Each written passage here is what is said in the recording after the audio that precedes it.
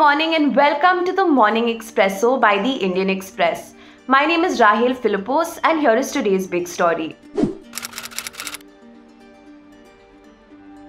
With no arrests yet in the Lakhimpur Kheri incident, farmer leader Rakesh Tikait has given the UP government a one-week deadline to arrest Minister of State and BJP MP Ajay Mishra's son for his alleged involvement in the death of four farmers.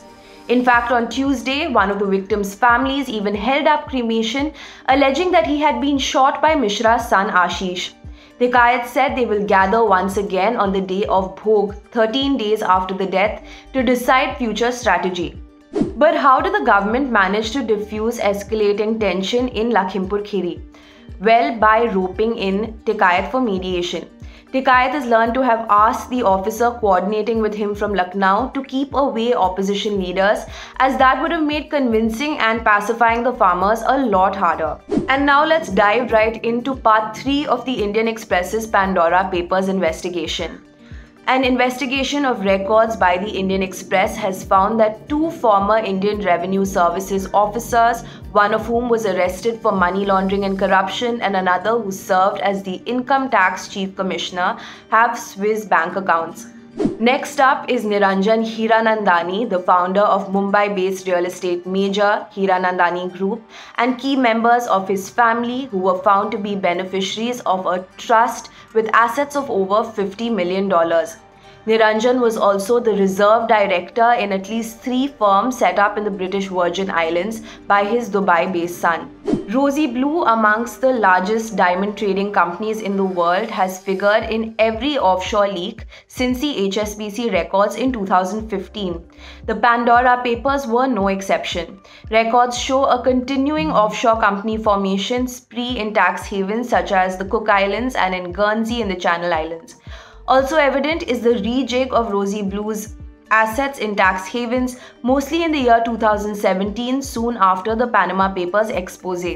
Meanwhile, businessman Tushar Vashisht's health and fitness app Healthify Me has been linked to Lang Capital Fund owned by Kirill Androsov, a former aide of Russian President Vladimir Putin.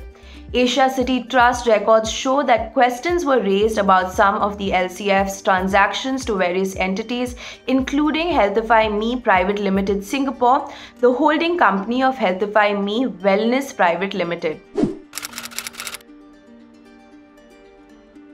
And now here are our stories from the front page. A prominent Kashmiri Pandit businessman who ran two medical stores in Srinagar was amongst three victims of a series of attacks by suspected militants in Jammu and Kashmir.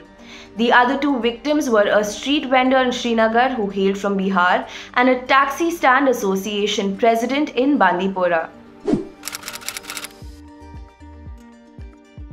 Here are some of our must reads for the day. Despite the astounding 100% cutoffs, it appears that top courses at premier Delhi University colleges have many takers. But interestingly, a majority of these applicants with perfect scores happen to be from the Kerala State Board.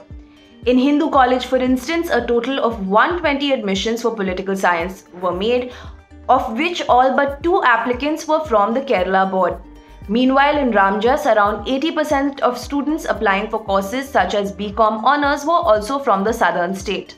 Across blocks in Kalahandi, one of the six Odisha districts affected by left wing extremism, patchy internet, erratic electricity supply, and poor banking penetration have made digital transactions a tedious, long drawn affair for villagers. In these areas, each bank branch caters to around 200 villagers. In fact, Chief Minister Naveen Patnaik brought up the issue in a recent meeting with Home Minister Amit Shah, asking the centre to improve banking facilities in LWE affected areas. And finally, for the first time ever, the Nobel Prize for Physics was awarded to three climate scientists. One was awarded jointly to Syukuro Manabe and Klaus Hasselmann, while another went to Giorgio Parisi for groundbreaking contributions to our understanding of complex systems.